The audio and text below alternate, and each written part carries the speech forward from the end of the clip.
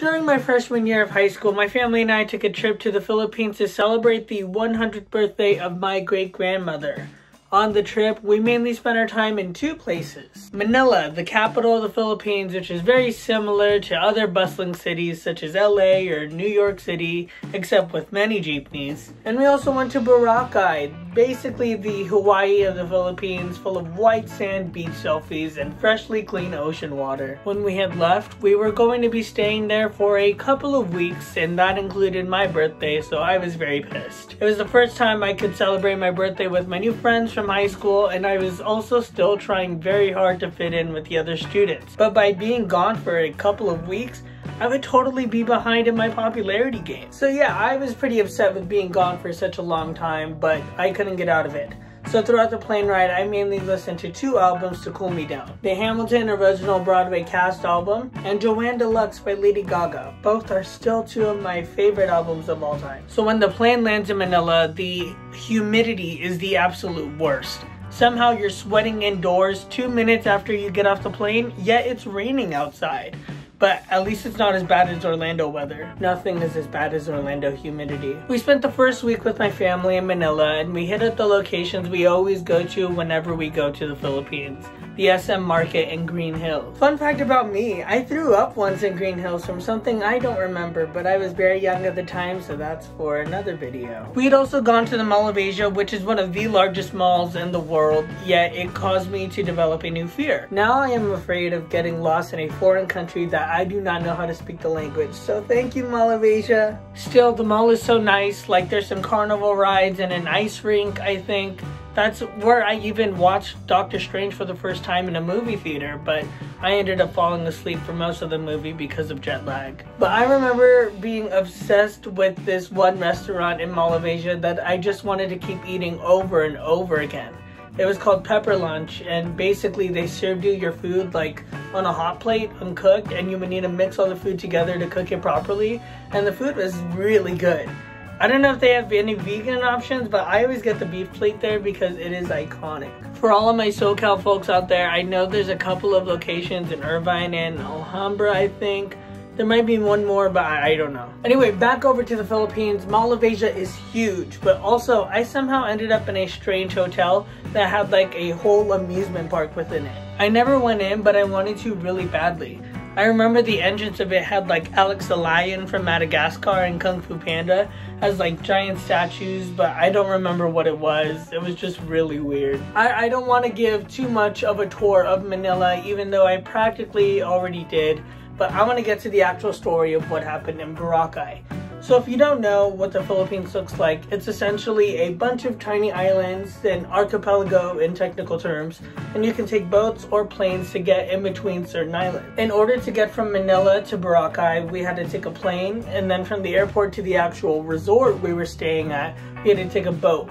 What such tourists we were. Also, in order to get from place to place, you have to walk along the actual beach. It sounds really nice when you say it, but then you must remember the humidity. The sun was shining so bright, it was impossible to keep your eyes open without squinting, even if you did have sunglasses on. So we arrived at the hotel we were staying at, and it finally started to feel like paradise. Thank God for air conditioning. But the outside of my room had like a hammock, which I had never seen before. So that was like the most technological advancement I've ever seen in my eye. And also, uh, Netflix was different there. Like, they had a whole different library of movies and TV shows, which was very fun to take advantage of. The hotel hotel room even had stairs in it, which is like the first and only time I've ever seen that. So I was big excited. When we walked into the rooms, for some reason the TVs were playing Taylor Swift music videos from the 1989 era, but that's like one of her best eras. And also, their Disney Channel only played the true hidden hits such as Brandy and Mr. Whiskers and House of Mouse, which are still two of my favorite cartoons of all time. I even went parasailing, which was cool I guess, but Brandy and Mr. Whiskers. But then here's where the story really starts to pick up. So one night my grandmother decided to throw a big party to celebrate our vacation in paradise. Keep in mind, there were like 20 to 30 of us on this trip together. So it was nice to have a little party on the beach. There were giant sandcastles and torches that lit up the path. We had the nicest view of the sunset against the ocean. It felt like everything was perfect until I started eating. I am a very picky eater. Most days I eat rice with some form of chicken, or hamburgers. That's really the only options for me. It is so difficult to travel with me because I'm allergic to so many foods, I'm lactose intolerant, and I am the pickiest eater. I'm the absolute worst. So at this dinner, I was very concerned with what I was going to eat because I hate branching out and exploring new things. So the only thing that I could really eat at this dinner was pesto pasta, I think. But I think pesto has pine nuts in it, which is a big no-no because I'm very allergic to nuts. So I'm eating this dinner, enjoying my life, laughing with my family while the sun is setting on a perfect day. How could it get any better than this? A deadly allergic reaction, of course. So I slowly start to feel my throat closing up, but I don't mind it. I just think I'm choking on something and need to cough it out, no big deal. So I'm sitting there, trying to cough my lungs out of my chest until I realize I'm dying. I start whispering to my mom, hey, I think I'm having an allergic reaction right now. Not knowing that whispering actually requires much more breath than normally talking. Then my mom says, nah, you're fine. And so I believe her because what else am I supposed to do? Listen to my own body? I continue on with dinner, back to laughing, talking, you know, the usual. Then again, I feel my throat tighten up even more and I'm starting to panic. I whisper again to my mom, no, I think it's really happening.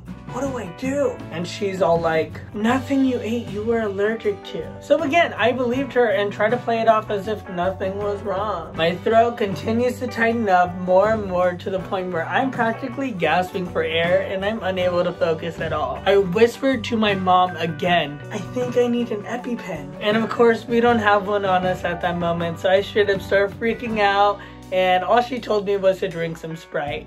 Thanks, Mom. My mom starts asking everyone eh, what was in the pasta, and everyone was like screaming, There's no seafood! Or, There's no eggs! Because those are other things that I'm allergic to. Until finally, it is revealed that there were pine nuts in the ingredient. I had no clue what pine nuts were before that day, but now I will always remember them. I thought I was only allergic to peanuts, but I guess it's fine nuts too. So without an EpiPen, we start panicking and trying to figure out what we can do to stop my throat from swelling. My skin starts flaring up in hives, though I think it's also because I was feeling very anxious and under pressure, and the perfect day continued into being a perfect night. Someone pulls out a Claritin for me to take because it says allergy relief, so it should work. So I take the Claritin and pray that I don't die right there in that moment. Thankfully, I begin to feel my throat start opening back up again and I start crying tears of joy. I asked if I could go back to the room to heal from this tragic event and they let me but they made me walk all the way back along the beach by myself, and I was terrified of being kidnapped because of that one Liam Neeson movie. Fortunately, I make it back in one piece and turn on the TV to help me calm myself down. But the TV betrayed me and did the exact opposite because once I had turned it on, the results of the 2016 election had just come out and that caused me to cry even more. And furthermore, I went on Instagram and saw a video that my entire high school did of the mannequin challenge. This was like in 2016. It was huge back then.